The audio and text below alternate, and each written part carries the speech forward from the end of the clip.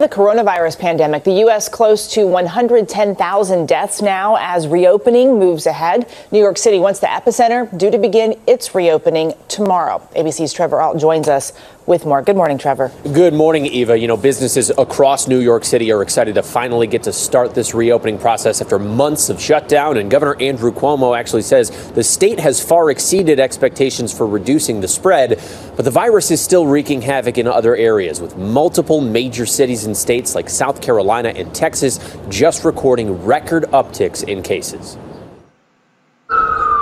The United States now tops 1.9 million COVID 19 cases. And right now, 18 states and Puerto Rico are seeing their cases increase. But this morning, New York is celebrating. Governor Andrew Cuomo announcing a substantial descent from the state's peak, saying, We didn't just flatten the curve, we crushed it. Congratulations to the people of New York State because they did this.